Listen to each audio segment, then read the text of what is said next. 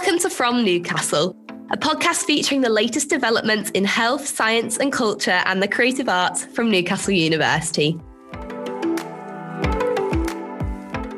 In this series, From Newcastle for Social and Environmental Justice, we sit down with our world leading researchers to explore how their work is challenging inequalities and promoting a fairer society.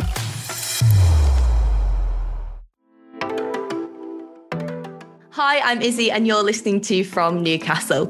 Today, I'll be talking to Dr. Gareth Longstaff, lecturer in media and cultural studies at Newcastle University. Gareth is a queer activist and chairs the staff LGBTQ network. His research looks at the intersections of queer history, culture, and heritage. In this episode, we will learn about the significance of queer culture outside of London gender identity in education, and Gareth's plans for an LGBTQ plus archive of the Northeast. Welcome, Gareth. So I'd like to start with please, Gareth, introduce yourself and give us a short overview of your work. Hi there. So I am Dr. Gareth Longstaff. I guess in my administrative role at the university, I am the deputy head of Media Culture Heritage, which is an incredibly diverse and interdisciplinary section within the, the School of Arts and Cultures.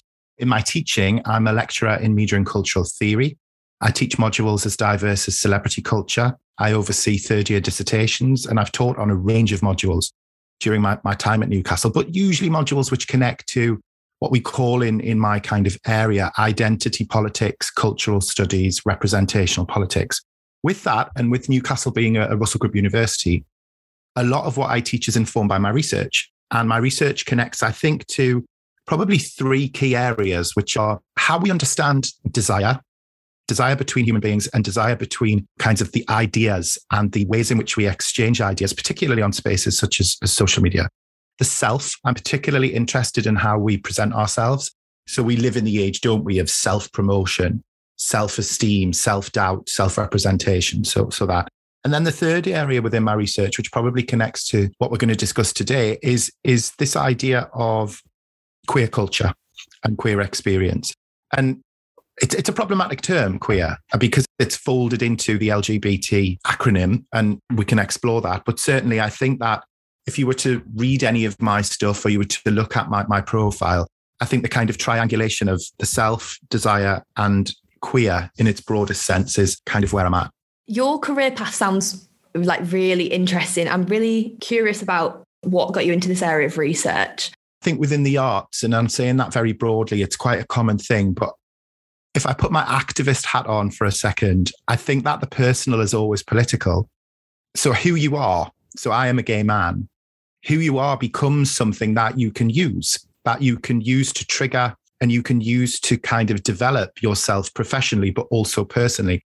I've been fortunate enough, really, since I did my undergraduate degree, to be able to explore all things LGBTQ plus in relation to my own interests, my knowledge, my expertise, whatever you want to, to call it really. So if you were to go back, you know, 20 odd years to when I was doing my undergraduate degree, it was an art history degree, strangely enough at Newcastle. And, you know, this was in the late 1990s. But even then I was, I was kind of allowed is a very weighty term. I was given, given the opportunity to to look at gay male artists, for example. I spent most of those three years looking at the work of people like Gilbert and George, David Hockney, etc. After I did my BA, I went straight into an MA and I moved to London and I did my MA at Goldsmiths in visual culture and critical theory. And the kind of practical side of that allowed me to move into gallery work and curatorial work, particularly in London. But I kept the emphasis. I think that's the kind of activist in me and the, the kind of passion in me. I somehow kept the emphasis going in relation to LGBTQ plus stuff. So within London, I worked not necessarily in, in queer gallery spaces or queer artist spaces, but I involved myself and became kind of, you know, embedded in particular communities, particular kinds of networks and friendship groups, which I still have, which was wonderful. And then as happens, I still had that urge in me to do something else with my ideas. Hence the PhD. I came back to Newcastle and as they kind of say, the rest is history. I was really lucky, you know, and fortunate enough to get a PhD place in a new academic department. I was given teaching more or less in my first year. And it was a strange thing. I'd, I'd kind of more or less found my vocation. I'm really intrigued now. You said you did your master's in London. How would you say queer identities differ between London and here in the Northeast? I mean, I think this is one of my big things. I think that, again, that personal political thing really comes in. I mean, I've been involved with a project more recently called Queer Beyond London, and I was u- loosely involved with this project. And I presented a paper um, in 2017 about the kind of transitions of identity between the Northeast and London.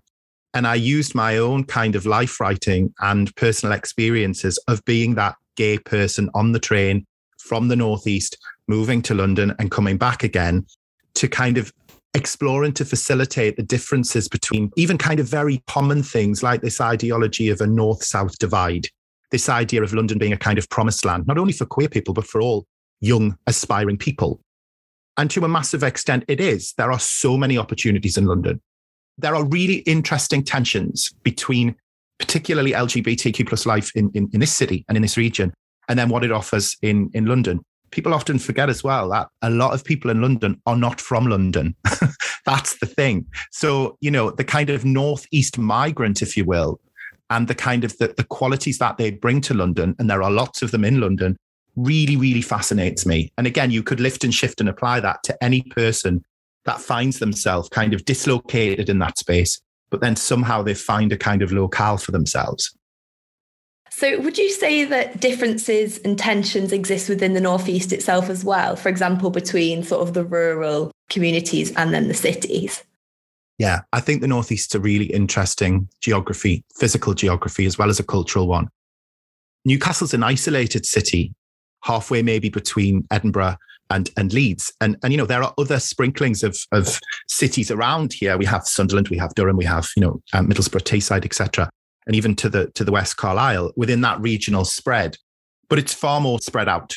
You know, if you go to the Midlands, if you go beyond somewhere like Leeds, everything's much closer together. So people kind of interact and engage in different ways. I think within the Northeast as well, there is a texturing of the Northeast, which is most definitely informed by social class. And the dynamics of class are marked out here, perhaps more obviously than they would be in other spaces. Now, that's some would argue more difficult to see, particularly in, you know, these contemporary times, which we might refer to as post-industrial or neoliberal or gentrified. Newcastle is very much all of those things. It's a gentrified city. It's a controversial word to use because again, it's kind of something which we might not particularly have or experience fully. But there is an authenticity here, you know, I, and I think there is a level of kind of authentic working class queer experience, perhaps in, in, a, in a city like the Northeast, which can be in itself problematic and difficult and slippery, which we maybe don't find in spaces like London. And again, I'm not claiming that. I'm not saying that's the way it is. But I think that there is a much harder edge here. If you go onto the Newcastle gay scene, I think there is a more authenticating way of being queer, perhaps in the city. Sometimes you have to search for alternative queer spaces because of the commerciality of things. But you know, there is a, a combination in the Northeast of, of, of humor and authenticity and all of those kinds of things. The other thing, and again, I've drifted from what we were saying, but the other thing about rural, I think is incredibly interesting. Northumberland is a really interesting space because it's vast. It's this kind of wild rural space. Barely any train stations, pockets of villages all around. And I think there is an untapped almost kind of queerness that needs to be sort of explored within that rural space. Now, that's not to say there is a gay or lesbian person in every single village, all right? But there's a kind of sense of very small micro pockets of queer communities within a kind of geography like Northumberland, which I think is fascinating. Would you say over your lifetime, have you seen attitudes to the LGBTQ plus community change in the Northeast, especially from your experience of having left and then coming back? 100%. And I don't think that the, the Northeast is, you know, it, on the one hand, it is unique. And on the other hand, it's quite similar to a lot of other spaces in, in the UK. I think that the ways in which kind of visibility and um, kind of being out, if you will, which, you know, I know we're going to probably talk about, have have manifested themselves in the northeast is is almost indicative of a more broader a broader kind of sense of of queer culture becoming on the one hand more visible and on the other and again this is where it becomes kind of problematic kind of more normalized and um, commodifiable commodifiable, this idea that it's no longer risky. It's no longer subversive. It's no longer underground. It's so above ground. It's so visible. It's so much, you know, it's everywhere that what kind of effect does it have? So, so the activism, you know, that I was part of 15 to 20 years ago, it still exists, but it's more difficult to see. It's more difficult to activate. So again, I think that when something becomes mainstreamed or accepted, and I think LGBTQ plus is, is kind of part of that, but there's a hell of a way to still go. Particularly the media and the mainstream think that, oh, well, the fight is won, the battle is over. There is no homophobia on the streets of Newcastle. There is no discrimination. Of course there is. There are huge levels of discrimination and homophobia within, you know, city spaces or regional spaces or national spaces. And we see that again and again. I always try to put my optimistic hat on and think, wow, I am kind of this person that can be myself, that can freely say to my students and my colleagues, I am a gay man. But I know that I sit in a kind of position of privilege, that there are so many people still who cannot say that. And again, the experiences of gay men, that's where the acronym LGBTQ becomes difficult. My experience as a gay man has certain cross sections or certain kind of nuances which might intersect with the life of a trans person or the life of a bisexual person or the life of a lesbian person, but it's not the same. The experience is not the same. It's from a different space. So I think those kinds of exchanges, when they're affirming, when we can work together, particularly in the Northeast, are amazing. But you know, when things begin to fragment or when things become difficult, then it can be challenging. And sort of jumping on from that, you're currently looking at establishing a queer archive of the Northeast. Where did this idea come from and how significant do you think this could be? Again, I think that the, without sounding completely self obsessed, I think it comes from my own experiences. I think I'm kind of like a queer hoarder. I think that I completely and utterly like hoard ephemera and odds and ends, which most people would throw away. So I've got like 30 years worth of concert tickets. I say most people would throw away. When you speak to people, people actually often keep this stuff. You know, I, I remember on the day that 9 11 happened, I was having a, a, meal in Newcastle and I kept the menu because it had the, the date on the top of the menu. And again, I, I think that's kind of interesting, you know, because the menu says September the 11th, nobody knew when they printed that menu on that morning that that day was going to change history, but it did. So I'm interested in those kind of incidental, ordinary, evocative moments which objects and artifacts, or particularly people, can kind of evolve. So that's really how I began to think about this idea of a queer archive of the Northeast through the kinds of stuff that I was collecting, the kinds of stuff that I was doing, but then also because of the literature I was reading and the people I began to engage with, particularly around four or five years ago through the Queer Beyond London project, which I mentioned earlier.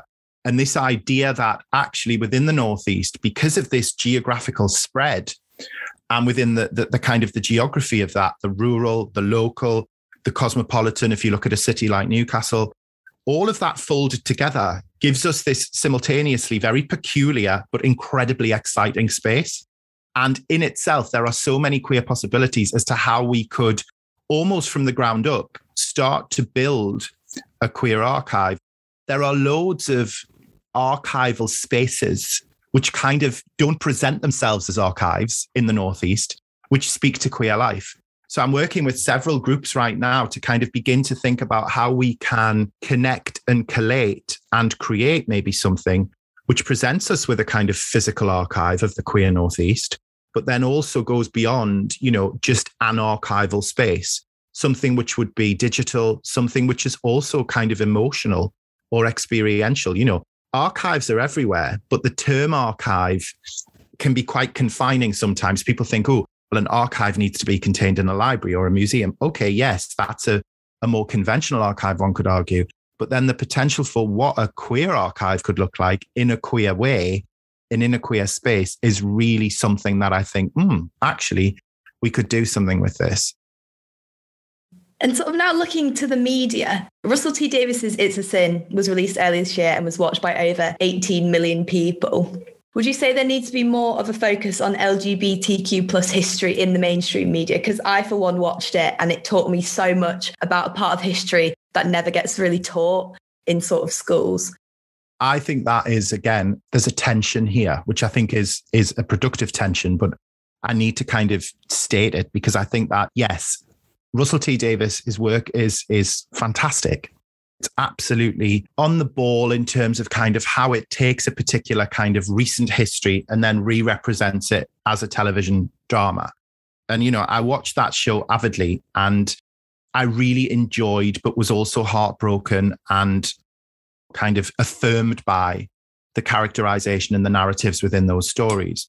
However, you know, and I, you're not the first person, and I think that's that's fine to say that I learned a lot about, for instance, you know, the allyship that gay men had with women as carers.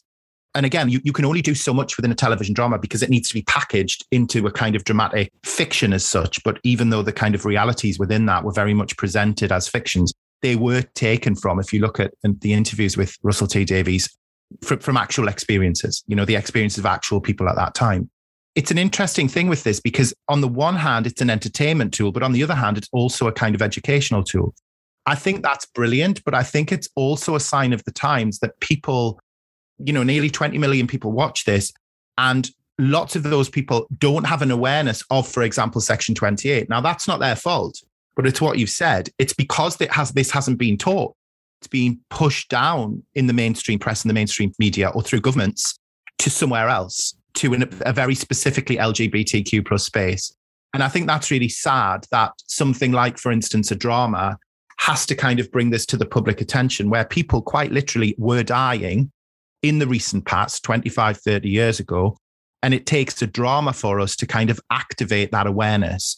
It's a tricky one. It's a double edged sword. That's what I, I, I really think it is. I think It's a Sin is such a valuable dramatic text. I think it's such a valuable queer text because it does so much and raises so much by way of awareness. And it's just a really great television drama.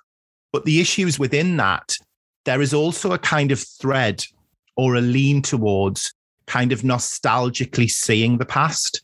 You know, we see that in movies like Pride as well, but the narratives within it, I mean, a lot of those guys that are presented the most tragic thing for me was the story of Colin.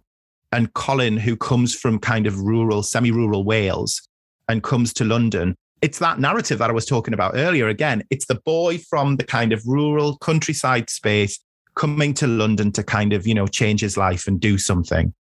I would say, okay, yeah, if you want to know about LGBTQ plus life, watch It's Sin. But then, you know, try to begin to kind of form your education in relation to documentaries or other films and television texts which talk about HIV and AIDS of that period, of that time. So I think, you know, visibility always comes with different kinds of outcomes. And I think that the kind of queer visibility which we see there is so powerful. But then alongside of that, you have to ask yourself, well, okay, there's something kind of happening here, or there's something wrong here with our recent past. Why doesn't everyone know about Section 28? Because it's so shocking. Do you think schools should widen their scope when teaching LGBTQ plus education and sex education so that it does include more than just sort of heteronormative relationships?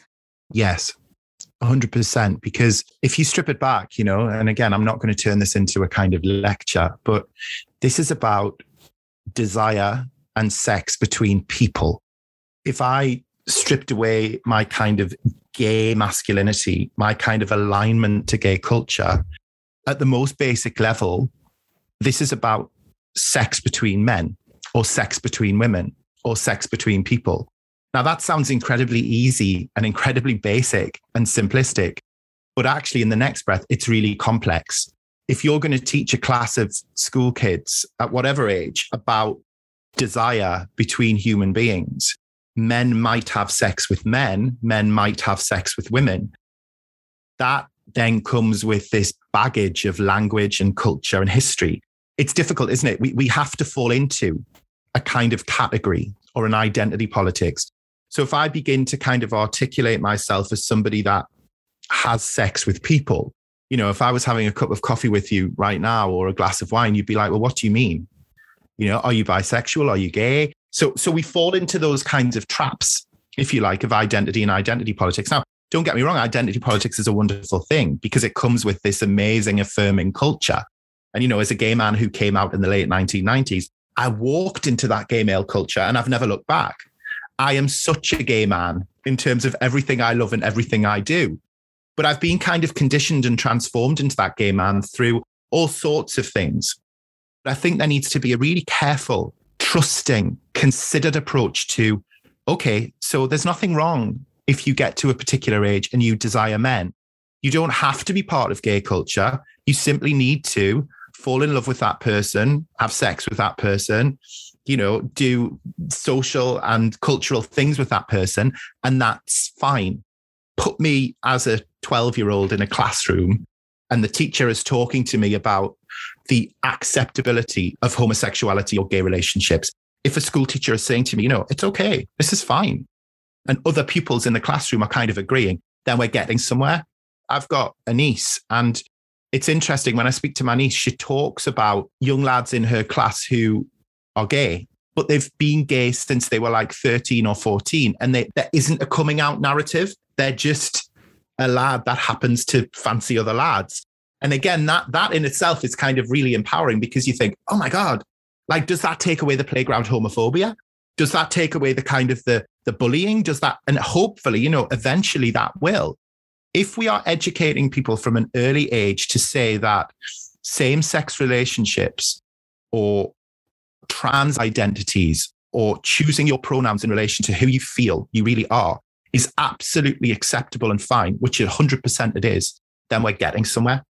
How do you personally feel about the concept of coming out? Do you believe people should not just be assumed straight until they say otherwise? And why do you think there is such a hyper focus on what someone's sexuality is? It's fascinating to me because if you think of coming out, there's a lot of academic stuff that's been written on this. But if you think about the closet, this idea of the closet and this idea of being in, this idea of lying to others and lying to yourself, the closet is a kind of dark metaphorical space. And then the coming out narrative, I'm coming out into the light. There are two spaces there which are marked as binaries, contrasts, you know, the pain, the torture, the trauma of being in, the joy, the affirmation, the love of coming out. Now, that narrative doesn't work like that for everybody. Coming out happens at an individual level. And again, you're coming out, you're kind of, I am gay, ma'am, or I am gay to my best friend, which I did. And thankfully, you know, I was accepted almost immediately on that level is a really hard thing to do. But coming out is a result of homophobia and heteronormativity and not being able just to be. I often say when I when I teach and we're talking about this kind of stuff, it's not as if you turn around if you are a straight guy and you say to your mum or dad when you're 12 or 15 or whatever, oh, by the way, you know, I've got something important to tell you. I'm straight. It's assumed. It's built into a normalized, assumed structure so it's embedded in culture. There is an assumption that everybody is straight. And that's what we need to, to kind of, to be frank, do away with. Because when we begin to reevaluate and realign gayness alongside of straightness, alongside of all of the other kind of gender affirmations or, or self presentations of gender and sexuality that we have, we begin to see just how rich and wonderful diversity and kind of, you know, queerness is. All any human being wants to be is is treated with respect and dignity.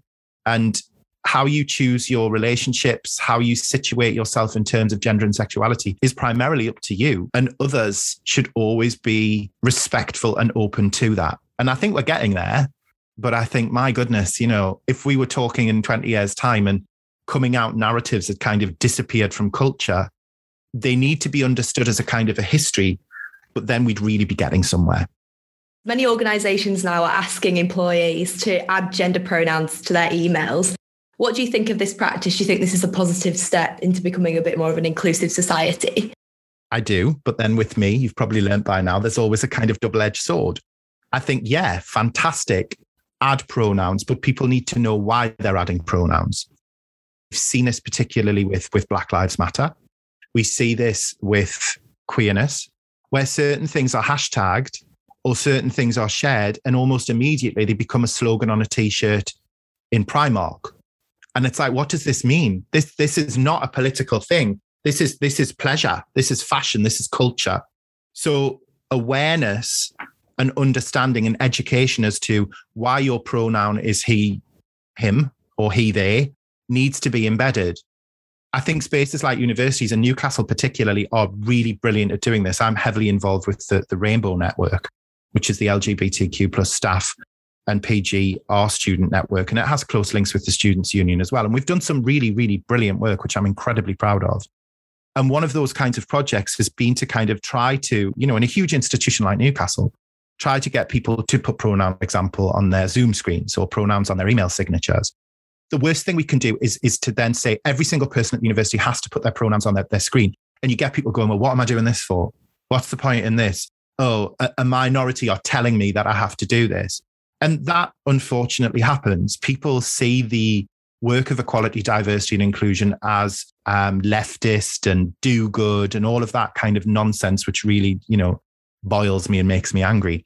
But I think that the education we've t- we've touched on it. We've talked about education. If you're saying to school kids, you've got to kind of designate your pronouns, or you've got to be respectful to each other in relation to your pronouns, then it's from the ground up. If you'd met me five years ago when we were talking about pronouns, I wouldn't have really known what you were talking about, which again is kind of interesting in terms of how things are shifting. And often it's less about who we are as well. I mean, I, I think I've spoken about myself enough. It's about the other. Understanding that other person is essential, it's crucial. And when you see the other, you begin to see yourself differently as well because you try to put yourself in the position of other. Understanding something of that person's experience or that person who has been discriminated gets us to a different place. And that's so important. And sort of in university circles, we've seen a lot of media coverage at the moment about transphobia after a university professor at another institution was accused of transphobia for her views on gender identity.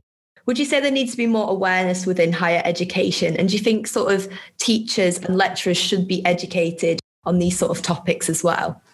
Again, that's a it's a difficult, it's a controversial and difficult question, but it's very of of the moment. And I think that the simple answer is, of course, yes. I think there needs to be a far more considered, open dialogue and discussion. I think that, you know, particularly around these issues, there is a lot of reaction, there's a lot of hostility. And I think that people need to discuss things less in terms of this kind of inbuilt reactivity or hostility. And they need to, it, it feeds into what I said, they need to understand the other. So I'm not going to comment directly on the kind of, you know, the politics, for instance, of the kind of transphobia debates in UK universities at the moment and the debates around kind of TERFs, particularly. But I do think that there needs to be some really careful consideration, some careful scrutiny, and some very careful kind of, if you like, policy driven changes in relation to what this means, particularly in terms of sex and gender and the discourses and experiences actually of trans subjects or trans citizens. There needs to be a different way of engaging this and positioning this. The problem is with this kind of thing, when it goes on to Twitter, which it does, it's just stirred up. So we get hugely confrontational and politically vehement spaces of gossip and speculation and commentary, which Twitter facilitates perfectly as a kind of political vehicle and tool. So I think that there has to be more awareness in higher education. There's an issue here to do with freedom and freedom of speech as well. But things always need to be somehow contextualized and contextually positioned. And I think it kind of feeds more broadly into the whole sort of um, narrative around cancel culture, which has emerged, particularly on the back of, of Black Lives Matter. And I think that cancel culture needs some careful consideration in relation to what cancel culture means and what should be cancelled and why it should be cancelled or why it should not be cancelled, how it should be understood. What are your hopes for the future of LGBTQ plus rights? I think the most urgent and pressing issue is to do with trans rights and trans people. You know, it's it's not as if to say that, okay, I'm a gay man and the fight is fought and we've won the day, we've won the battle and everything's great for gay men. Of course it isn't. But when you drill down into the experiences of, of trans people and trans communities, there are so many challenges, so many tragedies, so much discrimination. The tip of the iceberg there is just saying trans people. Again, it's about kind of drilling down, and I'm doing a disservice somehow by just kind of grouping that trans together. But but for for sake of an argument and a point, I think there's work to be done there. I think there's huge amounts of work to be done around intersectionality, queer people of color, for example, or for instance, you know, the kinds of discourses of how age, older gay or queer people, people who experience a kind of a an intersectional barrage of discrimination, you know, through discourses of not only transphobia, but things like ableism, which again need to be brought to the front much more. And really, at the university, I'm co leading on another project which is called Building Intersectionality, which does exactly what it says on the tin. That's what we're striving to start to do. You know, how, how, how can we change things like job ads? How can we look at things like induction policy? How can we look at things like kind of gender designations on student cards and library accounts? It's endless. It's exciting on the one hand because we feel like we are changing things, which we are, but all of that stuff takes time. Finally, a question we like to ask all of our guests is what is your favourite thing about Newcastle? The people. I think the, the people. Um, and again, that's probably a really cliched thing to say. But if I look at my life and I look at the stuff which makes me laugh and the stuff which makes me cry, it's often sort of filtered through that lens of Geordie culture or Northeastern culture. And again, I'm from the Northeast originally and went to London for a long time, came back, go back. So I'm back and forth. But there is a kind of, and again, we've got to be careful here not to be utterly cliched, but there is a homeliness, there is a familiarity, there is a community kind of sense of pride. Newcastle is a great city in that, and, and the university kind of feeds into that, really, doesn't it? it, it it's part and parcel of it because I think it's it's compact and safe and friendly and vibrant and queer in many respects. You've got to look for the queerness, but it's there. My goodness, it's there. No, do you know, I could not agree more. The people are so friendly here, aren't they? Especially coming from like small town Lancashire. It just feels like a slice of home. And so, anyway, thank you, Gareth, so much for coming onto the podcast. This has been a really interesting talk about all things sort of queer, gender, sexuality, and relationships. Thank you so much. Thanks, Izzy. Thank you. If you would like to find out more about Gareth's work, visit podcast.ncl.ac.uk forward slash from Newcastle. We hope you'll join us next time for more on social and environmental justice. Thank you for listening to this episode of From Newcastle. If you enjoyed it, then please click the subscribe button. We love to hear your comments or suggestions, so please get in touch at From Newcastle Podcast at ncl.ac.uk or via social media at From NCL Podcast.